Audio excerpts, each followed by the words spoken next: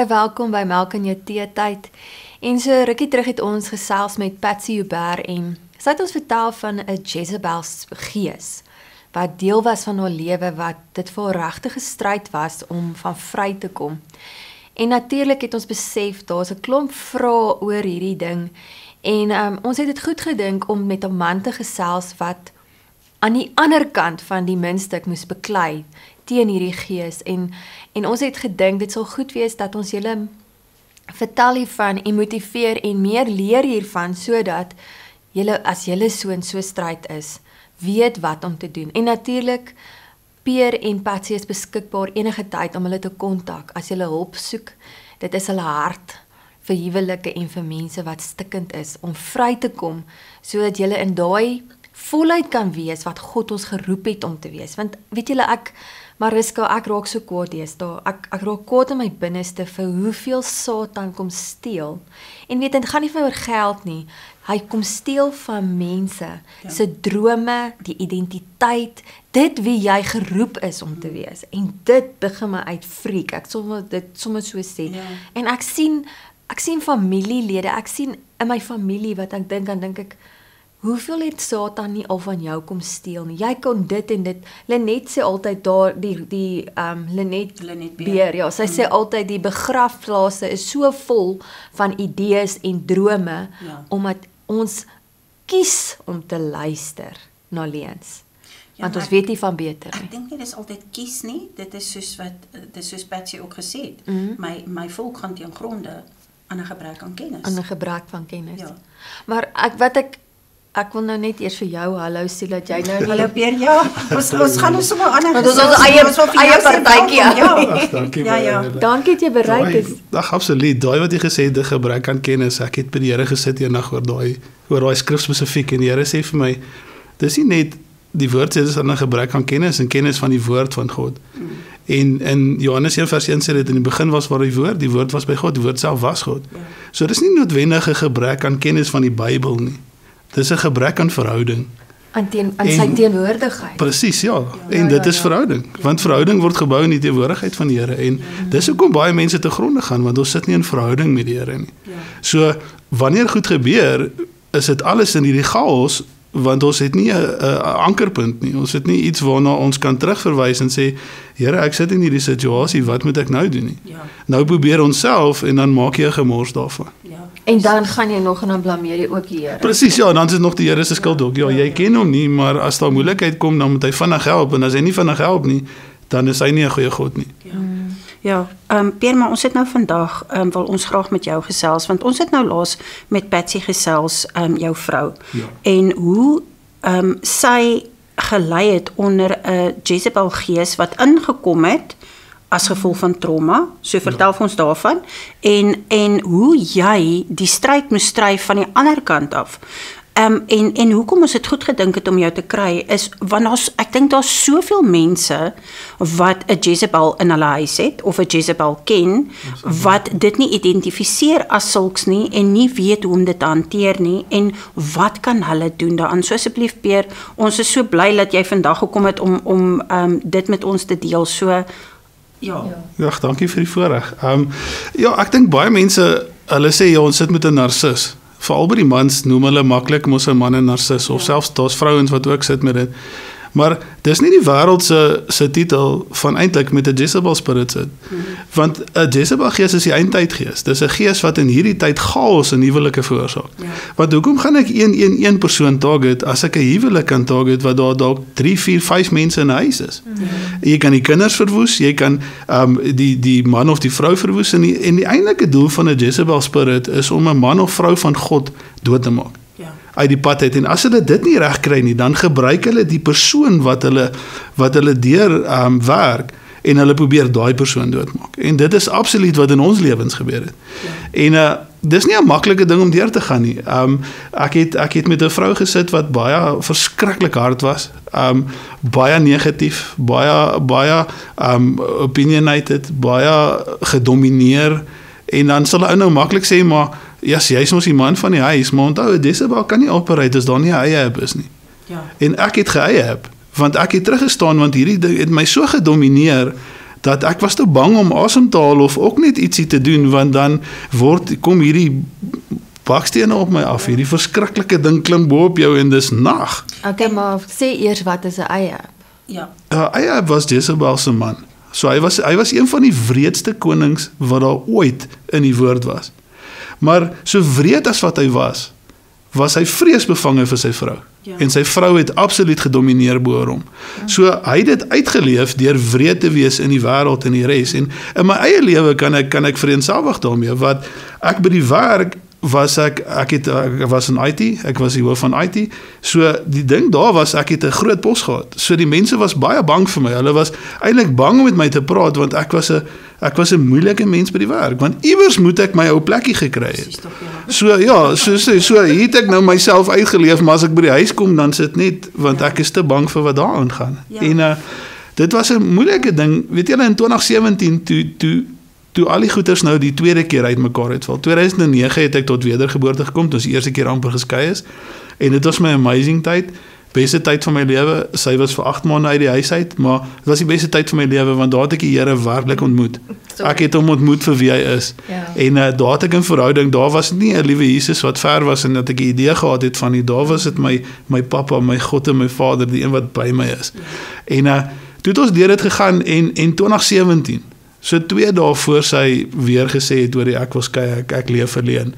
Het het dit nie lekker gegaan nie, maar ek het maar net aangegaan en deurgedruk en en en uh sy het eendag in die bed kom klim, ek het voor haar gaan slaap en toe sy in die bed klim, toe sien ek maar daar's nog iets wat in die bed klim en ek skrik so en ek sê Here, wat is dit?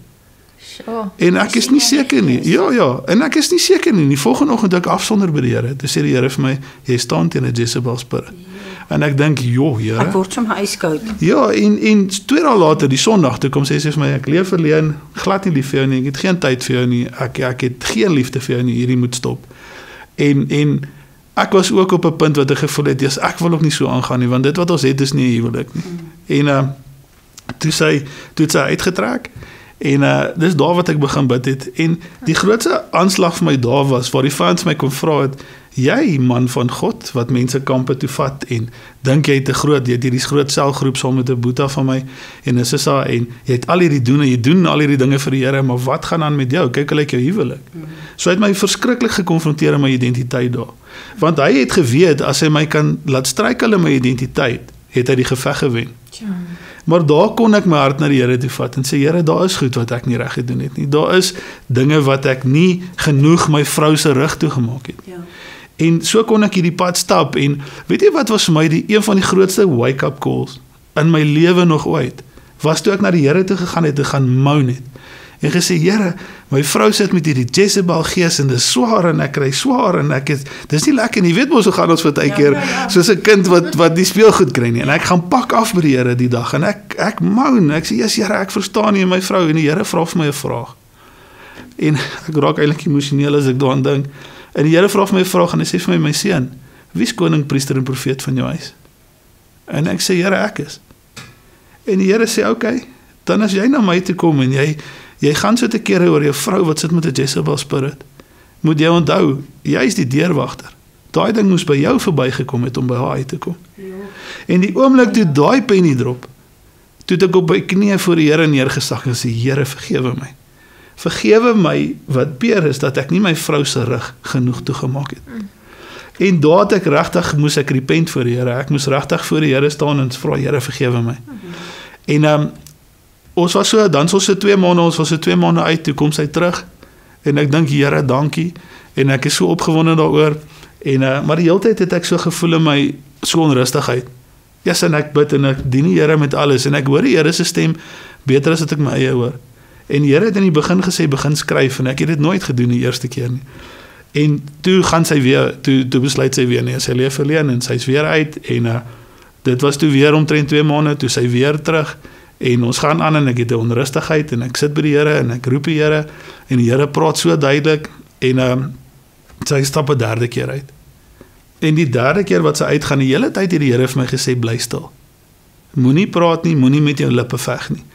En die een Sondag was hy by haar sussie en as hy terugkom, hulle het altyd saam lekker gedesibel, so as hy terugkom daar is dit nag by daai huis. Decibel. Nie gedesibel, nee, nee. decibel. En sy kom terug en dit was nag daai Sondag. Dit was baie erg. En uh, weet jy dat ek haar wil aanvat? Want ek het genoeg gehad van die vals beskuldigings en die beledigings. Dat ek al wil aanvat dat die Here my stom maak. Dat ek nie 'n woord my ek en ek wil ek dink nie een wat ek skwaad en ek wil toe ek die tweede keer so maak dat ek nie 'n woord uitkry nie, besef ek Here maak my stil en ek draai op en ek draai om en ek loop weg en ek besef as ek iets daar moet sê, gaan ek afbreek dit waarmee die Here besig is. En uh toe die geveg regtig eintlik eers begin want die derde keer toe dit breek en ek op my knieë neersak en sê Here nou kan ek nie meer nie. Die pastoor wat ek gaan sien in daai tyd tot hy sê vir my Peter is okay. Jy kan maar skei, dis okay. Die Here het jy het alles gedoen. Jy's reg in die Here se oë. Al die vriende, my sussie sê vir my manne sê nou mal, kry klaar, wat ek al, maar ek het 'n beginsel besluit gemaak en gesê ek sal nie opgee nie. Want die oomblik wat ek opgee my huwelik, sê ek my God kan nie. En ek weet my God kan, want hy het dit al voorheen vir my gedoen. En uh, weet jy, ek het so deurgedruk daar en net die Here begin roep en die Here vra vir my, jy het nou 3 keer vir my gevra vir 'n quick fix, want jy sien ons man soek 'n quick fix. Ja. En die Here het gesê, kan ek dit nou doen soos ek dit wil doen? Want ek het vir jou woord gegee, ek wil dit nie maak. Ek wil dit nie heel maak nie. Want 'n ding wat ek heel maak, breek weer. Ja. Ek wil dit nie maak. En soos Patsy in die vorige getuienis gedeel het, ons verwysingsraamwerk en fonda- fondasie was vrot. Ja. So die Here moes ons fondasie tot op die grond afbreek sodat hy kan oorbou. En in hierdie proses sit ons en ek sê eendag vir die Here, Here, U sê in die woord alles sal ten goeie meewerk. Maar hierdie chaos wat ek hier om my sien, sy wil net skei. Sy het geen tyd vir my nie. Sy haat my fisies dit. Sê ek, Here, maar hoe kan dit ten goeie meewerk? En die Here sê net vir my, wag en kyk. En weet jy, die kampe is uit dit uitgebore. So hoe's dit nie ten goeie meewerk? Maar in die proses dit was moeilik. Ek gaan nie jok nie, dit was moeilik. Um hoe hoe langer dit aangegaan het, hoe meer sy die prokureurs gesien het, hoe hoe hoe erger daai begin raak het, hoe swaarder was dit om vas te hou, maar tog het hy gesê, Here, ek gaan nie vir u los nie, want ek weet u gaan my nie los nie. En toe op 'n stadium met die Here gekom en gesê ek moet 'n 40 dae vas doen. En uh as julle sien, ek het dit dit is eintlik 'n goeie ding, maar kos was vir my belangrik op daai stadium, maar en die Here kom en en as die Here sê jy moet 'n ding doen, is dit anders, want dan doen jy dit in sy krag en nie in jou krag nie. En uh die 40ste dag het die Here my berg toe gestuur en ek dink as jy 40 dae gevas het, jy het baie min energie, jy kan omtrent jy sukkel om te operate, jy sukkel om te loop. En uh die Here het my 'n berg laat uitklim dat ek by hom kan kom sit. En ek sit voor 'n altaar, daar's so 'n kruis en 'n altaar op die berg en uh my trouring val van my hand af. En ek sê Here nee en ek tel hom op en ek druk hom vinnig terug en die Here sê vir my gaan nie huwelik red nie. Jesus en ek skree heel daai oggend, die Here sê jy het nog nie alles vir my gegee nie. En daar het ek fisies bo op die altaar gaan klim en gesê Here, vat dan alles. Vat alles. Ek wil ek wil ek wil nie meer nie. Vat alles van my. Want ek wil vir u alles gee. Verstaan jy want baie maal sê ons ons het al opgegee of ons werk in hierdie situasie of ons werk in ons huwelike, maar tog hou ons vas aan goed. En daai dag het die Here gesê ek soek jou alles. En ek kon daar op die altaar klim en sê Here, dis reg, ek gee alles. Vat alles, stroop my dan van alles. En as u dan nie my huwelik gaan red nie, is dit ook oukei. Okay, solank ek net vir u is. Want jy sien daar het die woord in werking gekom wat sê vind allereers die koninkryk van God en sy geregtigheid en al die ander goed sal van self bygevoeg word. En dis wat ek die kykers ook wil bemoedig om te sê die oomblik wat jy Vader jou fokuspunt maak en nie jou huwelik nie. Nie jou man of jou vrou wat sit met 'n Jezebel of 'n wat ook al nie. Die oomblik wat jy Vader jou fokuspunt maak en wat die Here vir jou genoeg raak, dan begin jy goed omdraai. Want dan stap jy in God se wil en in lyn met sy woord. Want nou ewe skielik vind ek eers die koninkryk. Die Here is my belangriker as die huwelik wat ek moet red, want jy sien, ons het al soveel mense gehelp. En dis so ding wat 'n ou gesien het in dit. Die ou of die vrou dien die Here want ek het nou 'n moeilikheid in my huwelik. Here, ek dien nie nou wat jy met my huwelik uitsorteer. En dan vat dit bietjie langer as wat hulle gedink het dit gaan vat. En dan besluit hulle naderhand nee, ag, dit is nie moeite werd nie, gee hulle op. Want daar's nie daai daai daai reëlnis in verhouding met God om te sê Here al wen nie al red U dan in my huwelik nie is dit ook oukei okay. ek het U so hoe het ek verloor as ek die Here gewen het in hierdie hoe verloor jy jy het mos net gewen ja. en dis daai vind eers die koninkryk van God en ek dink dis die geheim wat ons baie maal mis maar die tweede grootste geheim wat ek geleer het in daai tyd was ek het een keer 'n 'n koppel getrou net so buite Leidenburg en op pad terug praat die Here met my.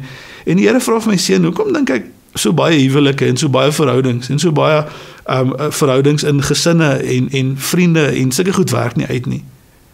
En ek sê, "Jesus Here." En die Here sê vir my, um want ons geveg is nie teen vlees en bloed nie. En ek sê Here, ek besef dit. Dit is so.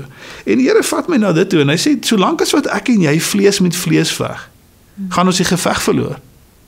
Want ons geveg is dan mos nie teen vlees en bloed nie.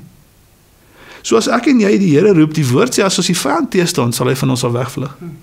Maar ons staan nie die vyand teen nie. Ek beklei eerder met jou en ek staan jou teen die hele tyd. En ek gaan nie geveg verloor. Either way of ek jou of jy dan die geveg wen of ek ek verloor. Ja. Want dis dis 'n verhouding wat eindig. Waar ek eintlik kan gaan, ekskuus en sê, Here, maar my geveg is nie teen vlees en bloed nie. So ek staan die vyand teen hierdie. Nou kom ons in 'n huwelikssituasie wat 'n Jezebel spirit opereer. Solank as wat ek vir Patsy veg, verloor ek die geveg. Dis kom die Here my daai dag stom gemaak het. En toe ek daai penny drop om te besef, maar moenie vlees met vlees veg nie. Gaan na jou binnekamer toe en gaan veg vir jou vrou. Die oomblik toe ek dit begin doen, toe kan die Here die situasie uitsorteer. Want toe ek die fokus wegdraai van die persoon af na die een wat agter dit sit en die moeilikheid veroorsaak, ewe skielik toe begin ons stap in oorwinning. Hoekom? Want ek kon die vyand teëstaan. En daar kom toe verandering in ons huwelik. En toe dit op die punt was wat ons het al 'n hofdatum gehad. Dit was regtig op 'n punt wat dit wat dit stikkend was. Um soos Patsy getuig het, sy het probeer selfmoord pleeg wat wat sy 'n lemmetjie gevat het en hy nie wou sny nie en dis die beskerming van God. En ek wil vandag vir julle sê en ek ek voel weer eintlik emosioneel as ek dit sê. Um ek wil dit spesifiek vir die vrouens sê vandag want ons doen kampe en ek sien hoe moeg en hoe stik in die vrouens is. En ek wil die vrouens bemoedig vandag om te sê besef vandag dat ek nie hier kan sit en in die bediening kan wees as ek nie 'n vrou het wat vir my bid nie.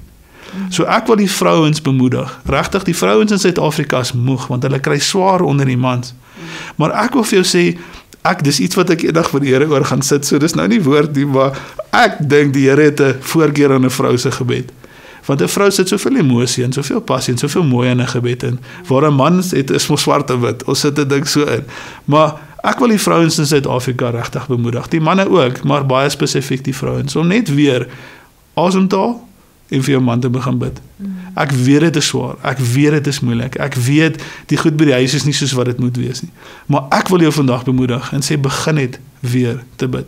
En weet die oomblik wat jy weer begin bid gaan dit dalk moeilik raak want dan gaan die vyand juis gaan vir goud want hy wil nie daai gebeure hê nie maar weet daar lê krag in 'n vrou se gebed. En dieselfde manne as jy sit met 'n vrou wat deur deur hierdie goed gaan en jy weet naderhand nie meer watter kant toe nie moenie vir jou vriende gaan luister nie. Moenie na enigiemand anders luister as om jou eie hart na die Here toe te vat en vir die Here te luister dat hy jou die strategie kan gee om 'n oorwinning te begin stap. Want dis een ding in die begin van daai 2017 stryd wat die Here vir my gesê het, hy gaan vir my 'n battle plan gee. En die Here het my toegelaat om 3 mense te vra om saam met my te bid. Baie het gebid vir ons huwelik oor die algemeen, maar hulle het glad nie geweet wat aangaan nie. Ja. Die Here het vir my 3 mense toegelaat in my binnekring waarmee ek my hart kon deel. En die 3 het het dit het nie lank gewees nie toe word dit 2. En dit was ook nie veel langer daarna nie. Toe word dit 1 en uh die een persoon het tot aan die einde saam met my gestap. Want die stryd was vel. Absoluut, ja. En wat vir my ook mooi was, daar was 'n dag wat ek een oggend wat ek nie kon slaap nie. Dit was net vir my te veel. Kyk, ek het in die Here gestap en dit was amazing, maar jy is nie bulletproof nie. En al die negatief en al die goed en ek het baie druk by die werk ook ewe skielik gehad want die van kom ons moet een ding by jou nie. Hy kom ons met 10 goed op 'n slag en dit was my moed en ek het my gesondheid skielik begin sukkel en al hierdie goed en ek het dit regtig net aan die Here toe gevat. En daar was 'n dag 'n aand eintlik wat ek swaar gekry het. En ek sê nogal vir die Here Jesus Here ek weet hoe u in die tuin gevoel het toe u bloed gesweet het. Want dit voel vandag vir my weet jy ek het soveel druk en ek sonder druk dat ek het fisies koor oor dat ek oor oor al hierdie goed wat net te veel raak.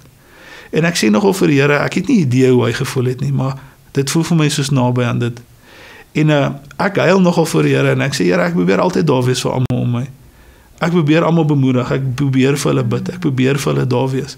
Maar hier sit ek 2:00 die oggend, Here, wie's daar vir my? En so voel ek en weet jy amazing is die Here. Ek staan eventually 5:00 op want ek kry nou van die geslaap nie. Ek dink dan gaan ek maar vroeg werk toe. En ek staan op en ek stuur vir so 5 mense 'n boodskap om te sê bid net vir my want nou weet ek ek het min geslaap so dan sê ons oor emosioneel ja. en so. En uh twee van die ooms stuur terug hy sê seun die Here het my al 2 uur wakker gemaak om vir jou te bid. Ek bid al van 2 uur af vir. En die ander oom sê ek bid al van 3 uur af vir. Toe wil jy seker hulle om te weet jy's nie alleen nie. Ja. Jy sê vir ek Here ou staan nie alleen deur hierdie nie. Ja. Maar ek dink ons is nie heroes nie, glad nie. Ons is net gewone mense. Maar ek dink die sleutel van oorwinning oor 'n Jezebel wat 'n verskriklike gees is, is om jouself te submit onder Christus. Om jou eie hart te gaan vind in die Here en dit nie te doen terwyl om om jou huwelik te red of jou kind se dalk met 'n ding of hoe ook al nie dat jy sal gaan en die Here gaan dien vir wie hy is. Want as jy hom vind, sê hy hy sal al die ander goeders van self byvoeg. So die oomblik toe ek my eie hart na Vader toe gevat het en so baie as wat ek gemou het oor Patsy, ek dink ek ons stry nog baie daaroor, maar ek dink die Here het meer werk in my kom doen as in haar. Ja. En die oomblik toe ek daai besef het, ek ons wil almal hê alle ander mense moet verander, maar dit begin by my. Ja. En die oomblik toe ek dit besef het en regtig my hart na die Here te gevat het, het die Here ons in oorwinning gebring. En die Here kon die Here die sluier lig ook. Want dink nou vir jouself waar sou ons gewees het vandag as ons nie gestaan het deur hierdie nie. Ja. En en dit eer ek die Here voor. Hy alleen kry al die eer.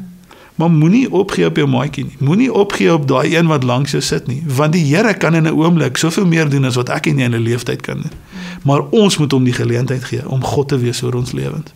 En die oomblik wat ons dit doen, die oomblik wat ons oopmaak en sê Here, vat dan nou alles. Want ek wil nie meer nie. Dis die oomblik wat jou hele lewe en alles anders omdraai. En daai ding sal submit want elke knie sal buig onder God. So die oomblik, ja, daar's dalk 'n persentasie wat sê 1% kan. Maar weet jy, niks keer die Here om daai 1% 100% te maak nie. Die waarheid sê die woord sal ons vrymaak. So as ons die waarheid hoor van hoe om dit te doen, dan kan ons vrykom.